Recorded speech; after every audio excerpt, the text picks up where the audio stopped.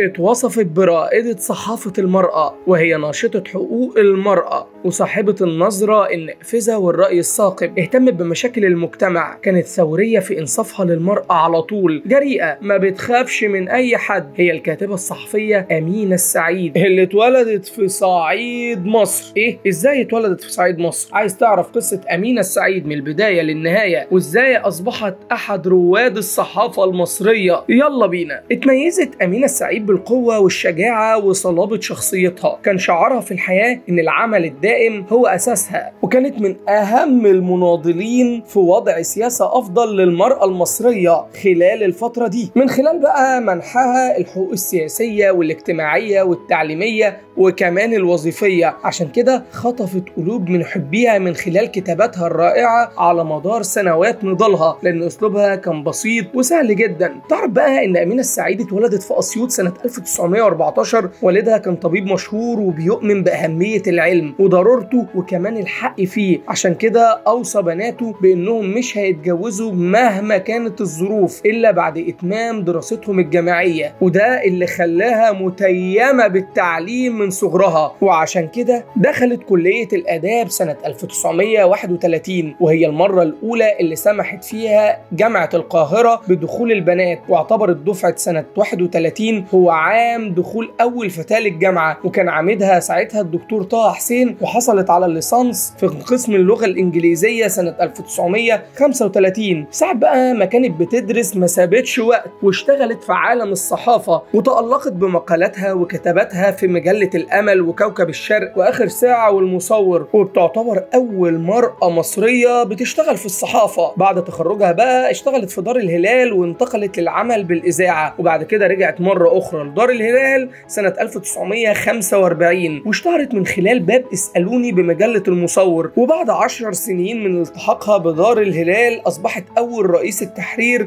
لأول مجلة متخصصة للمرأة وهي مجلة حواء اللي صدرت سنة 1954 وعلى فكرة أمينة السعيد كان ليها تاريخ كبير في النضال حتى وما كانش ده ظاهر للكل. وهنحكي ليكم أغرب واقعة في حياتها إنها في يوم من الأيام تسلمت خطاب مغلق من موظف الاستعلامات في دار الهلال والوقت ده كان بداية شهرتها. الموظف بلغها إن في ضابط جه وطلب إنها تستلم الخطاب ده إيد بإيد وإنه هيرجع بعد أسبوع عشان يتسلم الرد منها في خطاب مغلق. ولما قرت الخطاب لقت فيه كتير من الألم والحزن على حالة الجنود أثناء أحداث 1948 وطلب منها الضابط ده إن هي توصل كل كلام رسايله لعبد الرحمن عزام رئيس الجامعة العربية وقتها. الخطاب بقى كان موقع باسم محسن عبد الخالق وخافت جدا إنها تسلم الخطاب لعبد الرحمن عزام عشان ما يعرفش اسم الضابط. وقامت بإعادة كتابة الخطاب وحذفت اسمه وراحت لعبد الرحمن عزام وسلمته الخطاب.